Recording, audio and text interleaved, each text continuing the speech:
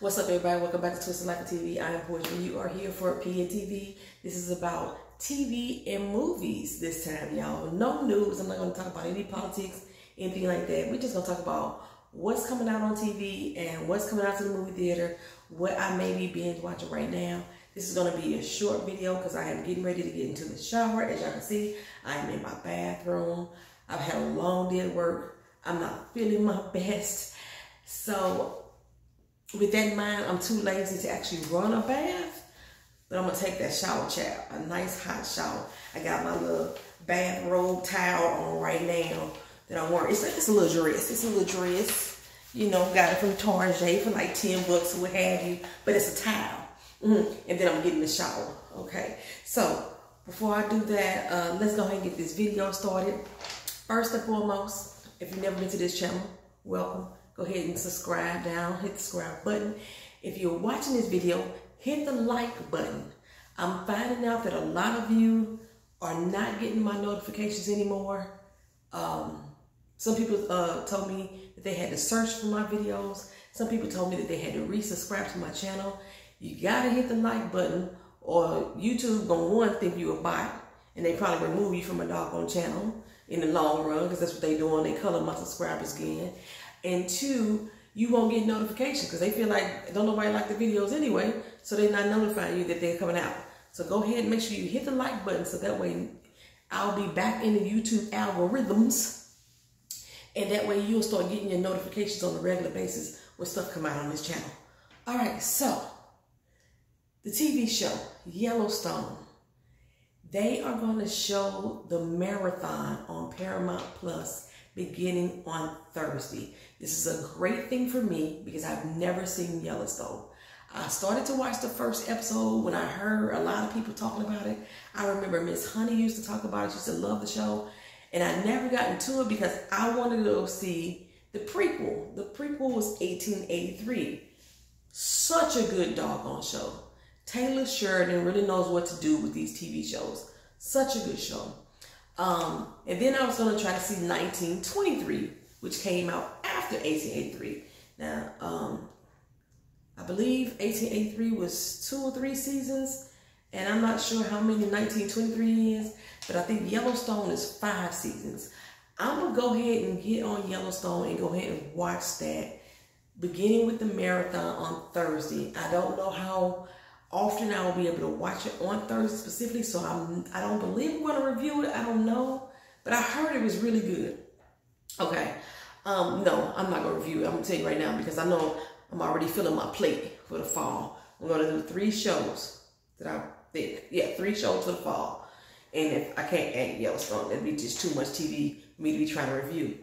Okay, so this Thursday, Yellowstone, Paramount Plus starts the marathon of every show from every season. They did not renew Yellowstone, and it has something to do with Kevin Costner. I think he has a new project coming out as well. But yeah, that's one of the main reasons.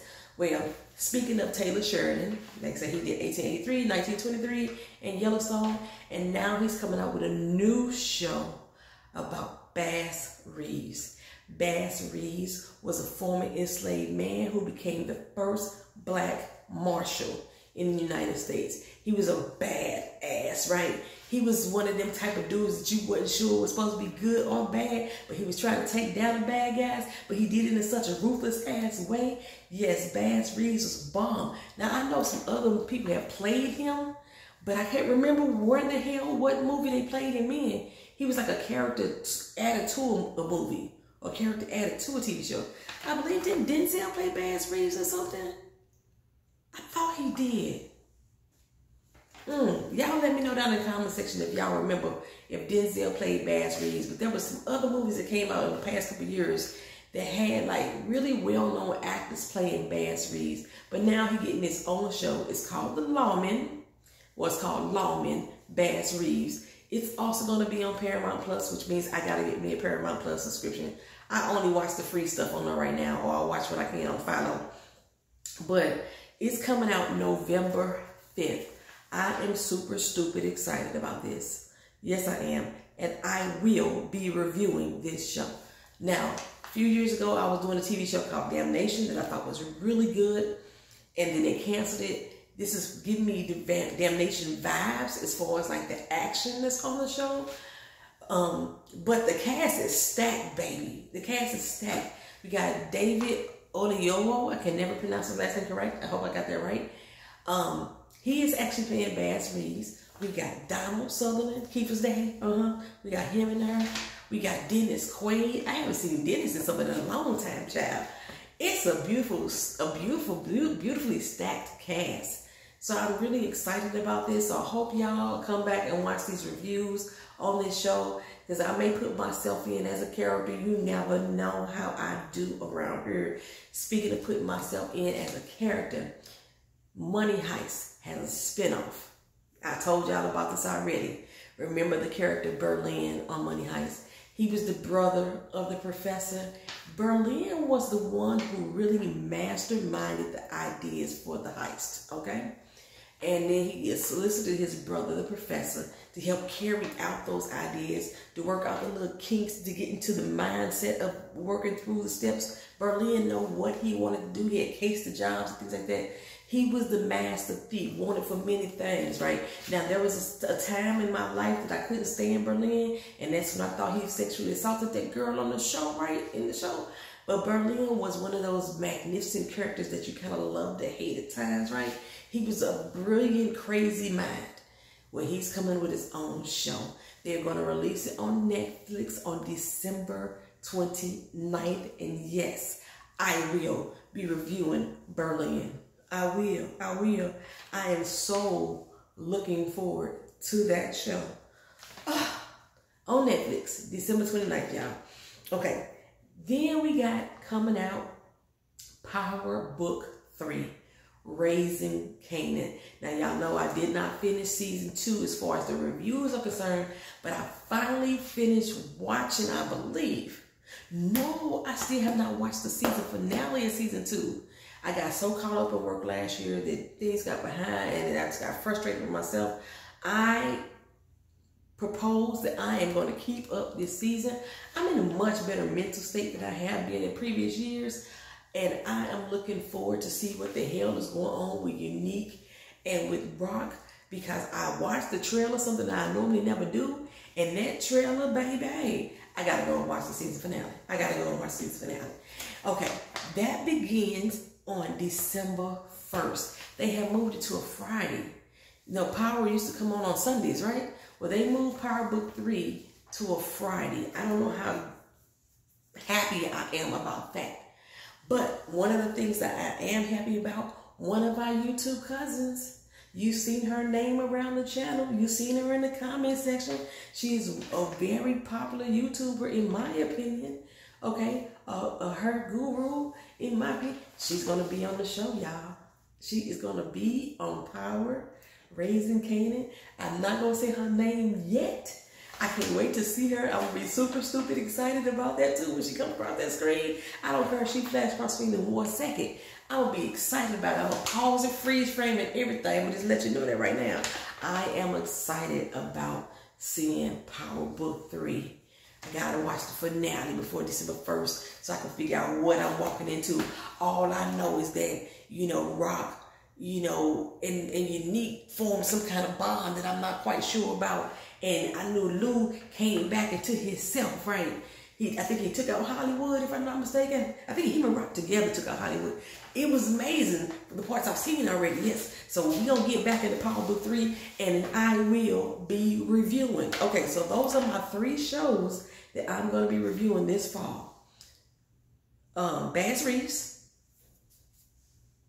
like it was a boogie in my nose. Bass Reeves, um, Lawman, November 5th, Raising Kanan, December 1st, and then December 29th, Berlin. So I got some good little space in between time to layer it on out, right? Which is good.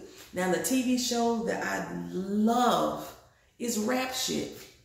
Unfortunately, I can't review rap shit on this channel because it's not going to get the recognition that it needs to. Because of the title of the show with the word shit in it, YouTube will not let me put that as a title. if I do like I do when I post in the community board and I use the exclamation point instead of an I, so it won't be the word shit, it does not get recognized in the algorithm. So it's very, people may not watch it. I really enjoyed season one of that show. I did not think I was. I thought it was going to be too young of an idea for myself. I enjoyed it immensely. So I am looking forward to season two. Now, I know you probably already said, girl, you already said that this show was starting back in August. Well, it was supposed to start August 10th, but due to the writer's strike and then the actor strike, it got pushed back. So now it is coming out on November 9th on HBO Max. So I will be live tweeting with the show, which means I got to give me another HBO Max. I let my HBO Max subscription fade away because it was my mama's account. My mama stopped paying for it. And I was like, I ain't finna renew it because I ain't watching nothing on it. But now the rap shit coming back, I'm gonna have to watch it because I like that show. Okay. Okay, anywho, I told y'all my cousin was um, gonna appear in a reality TV show called It's Showtime. It's supposed to appear on Roku TV and on Amazon TV, but we don't have a date yet. Okay, I've been checking in with her. They've been promoting the show all over their channel. She's been promoting on her channel. They've been showing little clippets and behind the scenes footage. So the show is coming. We just don't have a release date yet. I'm probably gonna be watching it, but not reviewing it. I don't think I can't. I don't know. I might be talking about my cousin real bad. Ain't no telling. And I love her dearly. but I'll see, um, depending on how we're able to view it. I do not have a Roku TV, but I do have an Amazon Prime account, so I should be able to watch it. It was one other thing, one other way that you were supposed to be able to watch it in my bathtub. I'm sitting on the, the handles and it's hurting my buttocks. Um, I'm gonna have to look again to see what was the third way that you can watch that show. But I know Amazon Prime, and if you had a Roku TV, you was supposed to be able to see it. Okay, so um other shows that's coming out. Somebody asked me before, I want to say it was um, Justin that mentioned this, Young, Famous, and African. I heard that was a really good show. It is about to go into production for the next season, so it has been renewed. It will be coming back. And again, they are about to go in production. I've said this a thousand times on the channel. The Handmaid's Tale has not begun production yet. They may not begin production until sometime spring of 2024, which means that they may not even come out with the next season into 2025. And I'm and I'm saying may not because Handmaid's Tale has a tendency to try to put out the shows around the times that they could win Emmy nominations. So if they miss the deadline as far as putting the show on air, they miss the Emmy deadline, they will push it back. So that's why we don't have a release date yet on The Handmaid's Tale. The final season, season six, I will be reviewing it when it does come on. Um, and in addition, because they haven't even started writing the script fully yet, they haven't even started really writing the script yet. They're still trying to figure out how they're going to connect the original Handmaid's Tale with the spin-off Testaments. Testaments will be coming on Hulu. They've already agreed to greenlighting. They already agreed to adapt it to screen. I will be reviewing Testaments when it does come out. Um, I told y'all before already about The Walking Dead. They have the new show coming out February 2024 on AMC. Um, this is going to be Rick and Michonne. I'm not sure what time period it's set in. Um, I all I know is Rick and Michonne didn't go back and look for them damn kids, but they're gonna try to make it seem like they did. I know they did. Anywho, Real Housewives of Potomac was renewed. It looks like they're bringing all the old cast members back. I haven't watched the previous couple seasons. So there's another black girl on there that looks kind of a little bit like Wendy, who's to be going against Wendy and Karen. I don't know if she was on the last year or not, but she's so far the only face that I didn't recognize. And that's going to also begin November 5th. No, I won't be watching it. even if I wasn't watching Bass Reeves on November 5th, I would not be watching Real Housewives of Potomac. I gave that up. But y'all can watch it, y'all can view it, and check that out. Okay, so what else I got on this side of the paper? I can flip. All right. Um, Bel Air is going into production. The next season is due to come out. If you have not watched any of the Bel Air, and this is the drama version and not the comedy version, the new one, then it is going to be uh, available now on Peacock for free. You ain't got to pay, go to the paywall to watch the seasons. You can watch all the seasons or the season that they had put out first for free. Um, P Valley is now going into production. For those of y'all who are waiting on that, unfortunately, y'all, that's not a show that I got into. I just couldn't rock with it for some reason, but people loved it. Uh, so don't just take my word for it. Check it out for yourself. P Valley is coming back. Welcome back to the paint, is what they be saying. Okay, right now I am binge watching um, the new Charmed on Netflix. It's okay. It's okay.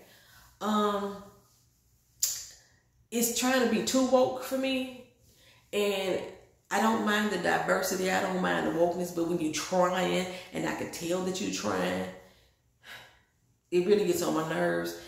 Every couple on there, damn near is a lesbian couple. I don't know why they have adopted the idea that in order to be a feminist, you have to be a lesbian. That's what, that's the type of image that they are portraying. Or you just gotta be like a hard nosed bitch. You know what I'm saying? You gotta be a bitch to be a feminist. I, I don't get that, and that's kind of how they promote it. All the outside of that, I like the show. Surprisingly, because I didn't think I was. Um, I'm also watching The Other Black Girl on Hulu. This was adopted from a book it is a thriller, sci-fi type of shit. I still don't know how it's sci-fi. I haven't got to that point. I think I'm on episode four or five. It's only a 10 episode series. I'm taking my time watching it, but I am enjoying it. Um, you got to get through like the first three, four minutes of the first episode, and then you'll start to enjoy it too. Because the first three, four minutes was like, this low budget as a mug. That's how I was with the first three minutes. Um, let's see what else is coming out. On to the movies. On to the movies, child. I posted up on the board the Hunger, Hunger Games movie is coming out November 17th. I will be in theaters for that. Viola Davis is in it. This is a prequel to all the other Hunger Games movies. So the character that played, or that Woody Harrelson played, this is his story. How he went through the tribute and became, you know, the master person. You know what I'm saying? So that's what this one is about. I'm I'm interested in watching it. I will be at the theaters to go and see Hunger Games.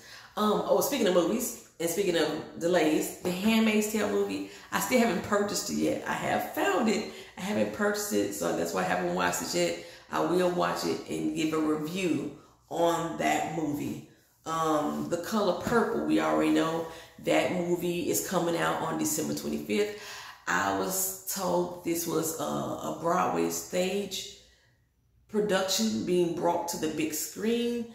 Uh, I want to say it was El Boogie that said it's not. This is an adaptation of the book. Well, the movie itself was supposed to be an adaptation of the book, and they originally said that they were not remaking the movie. So if this is indeed an adaptation of the book, as El Boogie said, then you are definitely remaking the movie. I know there's new songs and I'm like Anna LA. She posted in the comment section. If God is trying to tell you something is not in this movie, and sisters is not in this movie, I'm not sure how I'm gonna feel about that. And I do believe if they've taken those two songs out and replaced them with new modern music. I don't know, child, but Christmas, it will be in the theaters. I won't be on there on Christmas Day, but I will go see it in the theaters. Um, Bad Boys. Bad boys, bad boys, what you gonna do? What you gonna do when they come for you? They coming for you June of 2024 on Flag Day, June 14th to be exact. Bad Boys 4 is going to hit the theaters, or at least that's proposed release date. Um, yes, I'm going to the theaters to see that as well. Um, y'all remember the movie Twister with the with the tornadoes and the, they was ch- storm chasing them and everything like that? I think the movie came out back in 1996, possibly. Is it that old? My daughter loves it. She used to want to be a storm chaser because of that doggone movie. Anywho, child, they finna come out with a Twister too. It's actually called Twisters with the S. The first one was called Twister. This one is called Twisters. So it's multiple Twisters. Um, it's the same family. And it's a new chapter of their lives. And they are coming out with the movie. This is also coming out July of 2024. I'm gonna be at the theater for that one too. I'm gonna be at the theater for that one too. Mean Girls. They are re-releasing Mean Girls. I did not get the date. I apologize. But they are re-releasing it as a musical. But it's coming to the movies. I will not go see that. Is Lindsay Lohan gonna be in it? Lindsay Lohan just had a baby, didn't she? Recently, she did. I thought within this last year, within this year, I thought Lindsay Lohan just had a baby. If she ain't gonna be in Mean Girls, I'm sure I'm not gonna see it. But I damn sure don't want to see no musical. Mm-mm. Okay, Good Burger 2. With Kenan and Kel. They are about to release that movie November 22nd of this year. Um, I'm gonna see it, I guess, you know. I'm gonna tell y'all right now. I I do not remember the Good Burger movie. I remember that Kenan and Kel was in it. I remember that Kel had that really bad uh, bob braided wig, on. I remember that. I remember Welcome to Good Burger, home where the Good Burgers can make it. Can I take the order? I remember that. That's all I remember about the movie. I don't know what the fucking plot was supposed to be about. I remember I laughed my ass off. So therefore, I'm gonna go see Good Burger 2. Kenan and Kel both are going to appear in the movie, and I was I kept seeing people promote the fact that Kel was going to be in it like it was a shock to them, and I didn't know the story that Kenan and Kel had supposedly um, drifted apart their friendship. Then I saw another news report said that wasn't really true. They they made contact over the years, but there was an interview that Kel did back in 2012 that said once you know they got off of uh, Nickelodeon, you know he didn't he didn't even want to be seen with him. He didn't even want to do interviews with him. He didn't want to be seen in the media at all with him. I don't know what that was about, but apparently they have kept in contact over the years. They are doing this movie together that's coming out again November 22nd. And which is the only thing that's surprising to me doing my little research, to learn that Kel is a preacher now.